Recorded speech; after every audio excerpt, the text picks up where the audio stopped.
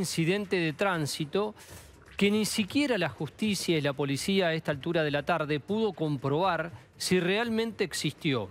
Miren, esto se dio todos los días que pasaron, ¿no? El sábado a las 7 y 20 de la tarde, en la esquina de Ayacucho y Álvarez, en el centro de Tucumán, en la zona del barrio sur. Iba un auto, que lo vimos ahí en imagen, un Peugeot 3008 de color negro, que iba persiguiendo una moto, hasta que en un momento alcanza la moto, le cruza el auto adelante, se baja una mujer muy enojada, empieza a insultar a otra mujer que iba en la moto, le dice que por qué le rayó y le rompió el espejo, la otra mujer le dice que el auto no tiene nada, le pide disculpas y sin embargo esta mujer saca como un frasco, un aerosol y le rocía toda la cara, generándole, bueno, vómitos, no podía respirar, le quemó parte de la cara, parte de los brazos, el pecho, los ojos y se salvó porque tenía colocado el casco más allá de que, queda liberada a la parte frontal. Vamos a escuchar el audio. Mirá lo que pasaba y cómo los vecinos y la policía, Silvia, asistían a esta mujer. A ver. Escuchen.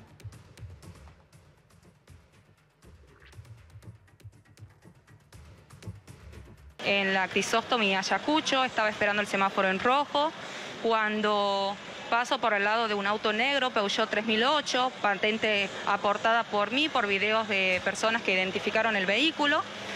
Yo, me yo circulaba en motocicleta, lentamente guardo mi espejo y paso para detenerme porque el semáforo justamente estaba en rojo.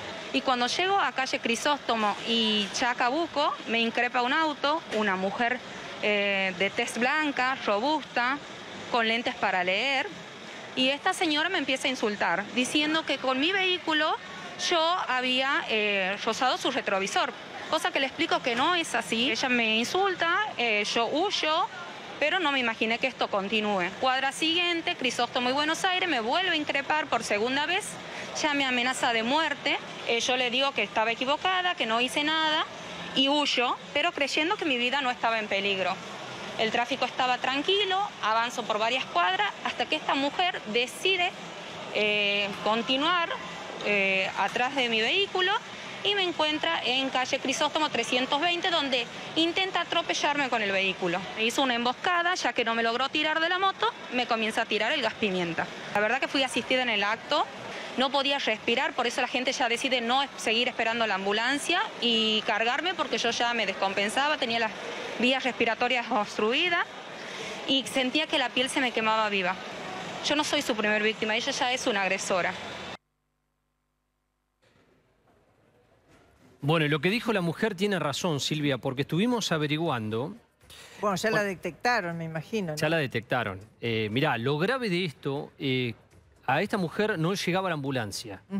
Tuvieron que llevarla entre un grupo de vecinos en una camioneta hasta el hospital Padilla y ahí recién la pudieron eh, atender, tuvieron que hacer un lavaje, colocarle inyectable, suero, cremas, atender especialmente las quemaduras. Alguien dice, bueno, a ver, un gas pimienta no puede causar tanto. Sí, no puede causar tanto, depende de la cantidad y depende de la distancia en la cual te lo arrojen. ¿Por qué? Porque es un elemento que es disuasivo, que es para tirar un poco así, disuadir, por ejemplo, un delincuente que te va a atacar. Ahora, si vos te parás al lado de alguien y empezás a ejecutar ese aerosol, ese químico podés generar un daño muy grande.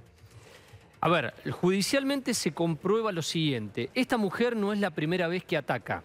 Es decir, ya es una persona que tiene un mal carácter y que hace este tipo de situaciones en la calle. Es una profesora de inglés. Ah, mira. No está detenida. No la llamaron todavía indagatoria. Y además la víctima tiene razón, la fiscalía tiene que convocar a los testigos, porque hay varias personas que vieron, debe tomar el material fílmico como válido y además tiene que pedir una pericia médico-legista para tratar de comprobar las lesiones que tiene esta mujer. ¿Y los antecedentes que sabemos que agredió antes es porque está denunciada? Tiene, sí, en el barrio ya la conocen como una mujer que ha tenido problemas con otras personas. Ahora, en este caso puntual, por esa secuencia que se dio, la pueden imputar por em, lesiones, coacciones y hasta lesiones. Y amenazas. Amenazas de muerte. Eh, amenazas, lesiones y coacciones. Tiene tres eh, delitos posibles ante este accionar que mucha gente cree que peleándose en la calle con alguien, golpeándolo y todo lo demás, no pasa nada. Sí, pasa. Y tiene, este es un caso.